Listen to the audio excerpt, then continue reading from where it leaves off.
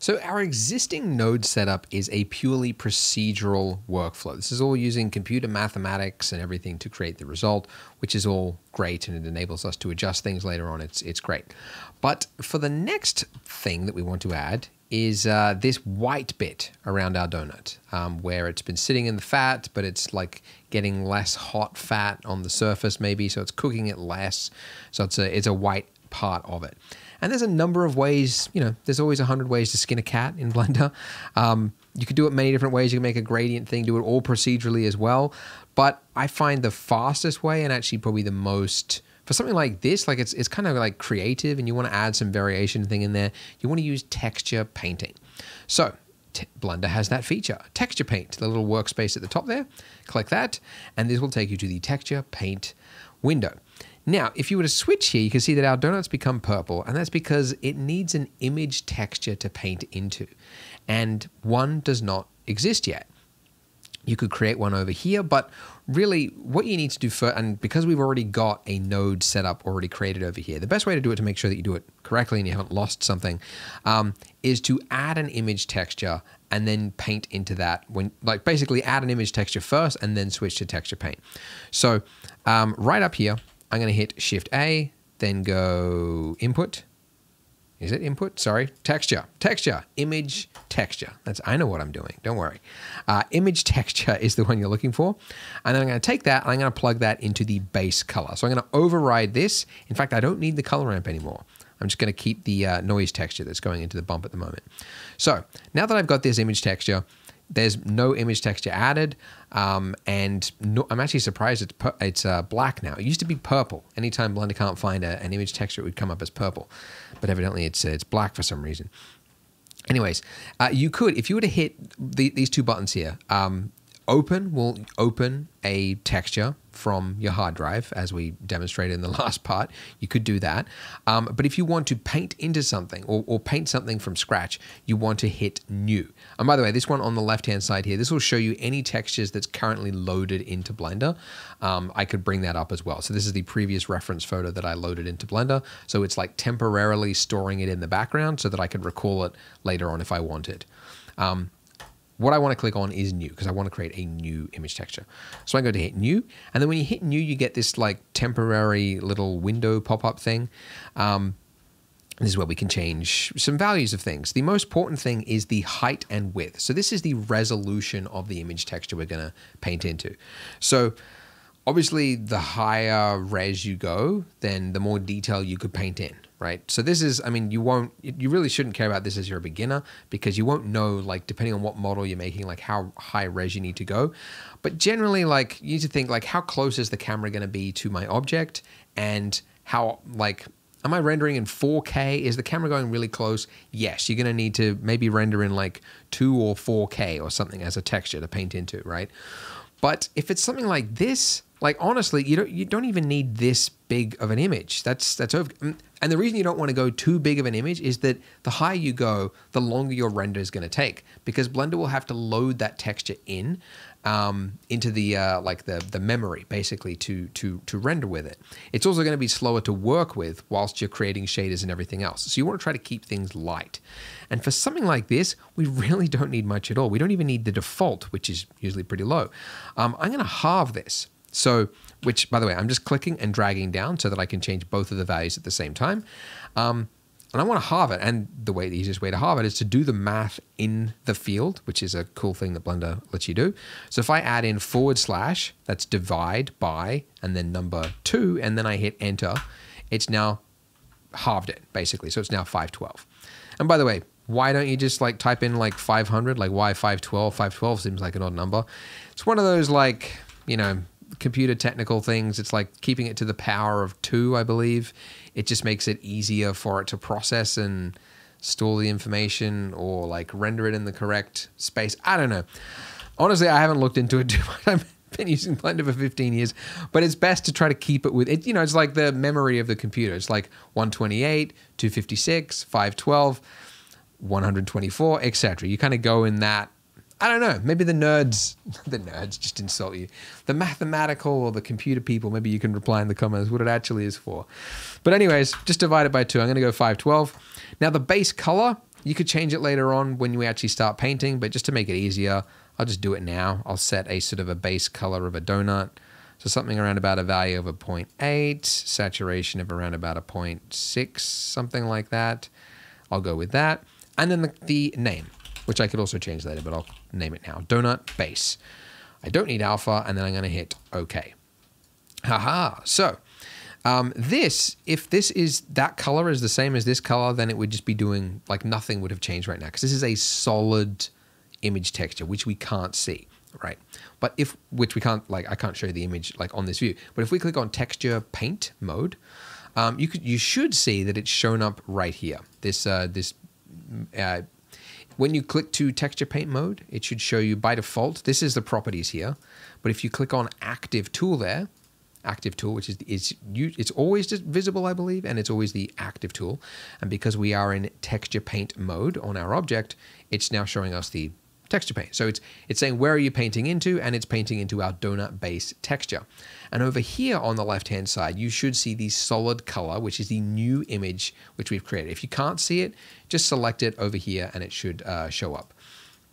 Okay, now if I was to change this color to be something, and just paint, you can see I'm painting onto my model. And you should also see it showing up on your image texture over there. Okay, now where is it like, because the other thing you can do is you can change, the, I mean, it's normally automatically set to this, but in my case it's not. I want to change to paint mode, and then I could actually paint directly over here as well. So this is, again, sort of talking about the image coordinates. To take a texture and a 2D flat texture and map it onto a 3D model, it has to wrap it in some way according to texture coordinates. Um, so this uh, coordinates that we're using right now is the UV map. So if I was to actually go into edit mode, just go to edit mode right here. You can see these are my my image, whatever, my my my mesh, right? And it's created this grid here. So each of these single grids, in fact, if I was to switch, don't do this, I'm just doing it so I can show you, um, and then go to sync mode, right? If I was to select different parts of this mesh, you can see which parts it actually correlates with on the uh, the image texture. There's actually a great image um, on Twitter. I'll paste it up here so you can see it. But it's a yeah, it was like the, the best way to explain UV coordinates to like a, a, a toddler even is like a Christmas ornament, like a, a, chocolate of a Christmas like little Santa thing. It's the exact same thing. It has it's taking a 2D thing and then it is wrapping it around the the model. So that is what it is what it's doing. So we're painting onto a 2D texture which is then being mapped onto it. So you could paint over here or you could paint onto your model. It's generally much easier to paint onto the model.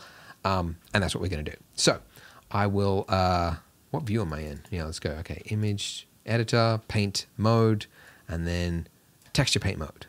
Okay, and then this is turned on again. I got to turn that off. Okay, display. I don't want the image texture. Okay, all right, and then I want to change fill the fill thing. For some reason, it sets it as white. I don't know. And then I'll just click single click, and now I've got my uh, my donut base there. Solid color base, I mean. All right. Now, if I was to set this to a white color, and let's go, yeah, 0.8, 0.8 will be fine. And then I'll set it to kind of like a low strength. And I don't have, I've got a, I've got a Cintiq sitting right next to me, but I will not use it because instead I'm going to click like this, just like you guys are with your little mouse. But obviously, if you've got a stylus, um, then it's much better because you've got pen pressure. You don't have to do as many clicks. Click, click, click, click, click. Um, but yeah, I'm, I'm painting around the middle part and you can see that it's reflected over there. I could also paint across here. I could set my brush strength. And the brush strength, same hotkey as we did with sculpting, it's F to change your, sorry, your size, not strength. Size is F, and then strength is Shift F, which is the exact same hotkeys as sculpting which is nice. It's a nice thing that Blender does. It tries to use the whoa. You see that little thing that just popped up there? That was like a one of my scripts, my add-ons that I've got enabled, just uh, had a fit right then for some reason. I don't know why, but that's third-party add-ons. You know, you get what you get. Sometimes it'll just have a hizzy fit. Um, but uh, but anyways, yeah. One of the good things about Blender is, is like the the hotkeys are generally consistent. Like G for grab and S and scale and rotate. You can even do that. You can do that everywhere. Like for nodes, like yeah, I didn't even show you, but like yeah, you could like take these and like scale them with S and rotate them. It's like why would you need to rotate? But like you can. Like all of the hotkeys are the same everywhere in Blend. It's really it's really nice actually that they've done that. Unlike Adobe, looking at you. Try and go from like Adobe to Illustrator and it's like what? Like the pen tools are different and like everything's got a different ah, oh, it just drove me crazy. Anyways, um, by the way, if you hit X, that is a hotkey from Photoshop. I know I just badmouthed uh, Adobe, but there's a hotkey from Adobe uh, of Photoshop. It's the same here. We'll just swap between two act like a foreground and background color. Um, so I want to keep white, but then I want to make this one my donut color. So I'm going to click this, click the eyedropper, click that, and now I could like quickly swap. Like if this part looks too white to me, I can do some brownish painting. And then at this part, I want to make it white, I can just hit X and do that. So the reason I'm doing this like sort of staggered thing is this is kind of how it looks. I mean, that looks like solid white. I think that was like a homemade recipe. But this one, I've, I've just looked in other photos and it seems to be not a constant color that goes all around it. It's sort of like, it's sort of like splotchy. There'll be parts that'll have more um, and parts that'll have left, less. Not sure if you can hear, but yeah, there's a crow that's just going ape outside. I live. Uh, I like rented my my office, my little studio here, and I it's just a residential block. And I'm like, I have to make sure there's no like barking dog next door because that'll just like ruin tutorials. And I'm like, all right, dogs are cool. All right, everybody seems cool. Okay, I'm gonna do it. And then I like move in. Didn't realize that like at odd times throughout the day, it's just the trees around here. You just have birds fighting constantly and just barking at each other. So I just have to deal with it. Or more like you have to deal with it. Um, but I don't even know if you can hear it. It's hard to understand what the microphone will pick up. All right, so that's that's pretty good. All right, not bad. Cool. We got a we got a thing. All right. Now, one thing to note is when you do texture painting on a texture that you have created in Blender, or you've altered or modified in Blender. You can see that on this image thing up here, you've got a little star. And that star means that this image is not actually saved yet. It's actually, it's, it's only visible in your current blend uh, session, right, temporarily. If you were to actually quit right now, which I'll just do something dangerous and say quit, um, it'll say, do you want to save your changes, first of all, for your blend file, but also, do you want to save your modified images? That's a new feature of Blender, by the way. Never used to have that. So it used to be all the time people would paint something in Blender and then they would go, wow, that's loud. They would say, what happened to my texture? Like, I, I, why is it not in the thing? It's like, yeah, you didn't save it. So you want to save your texture. So you want to go save or save as, and it will then say, where do you actually want to, uh, where do you want to save it? Okay, so let's, uh, let's save it right here. I'll call this, yeah, donut base. Let's do that.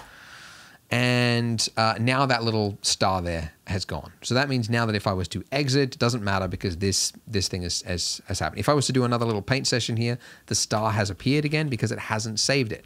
So um, the hotkey to save just the image texture, it's Alt S. Do that and it's now saved over the image. All right, so back at my shader over here. I like the way this looks but I want to also use parts of my noise text, which is what I had before, because I want to have that, whoop, this look, right? Where I've got that kind of uh, browny, white, yellowy parts where it's all kind of like splotchy across it, like it's been sitting in a fryer, kind of uneven. I feel like the more like commercial the uh because I've seen looked at so many donut references. The more commercial the donut operation, the more uniform and plain your donuts will appear. But if you're like doing homemade donuts or like artisanal donuts, I'm sure that's a thing now. Um, you'll get like more interesting shapes and things. So, anyways, take that as you will. All right, so what I want to do is I want to take the output of my noise texture and somehow infuse it with my base, my base colors here.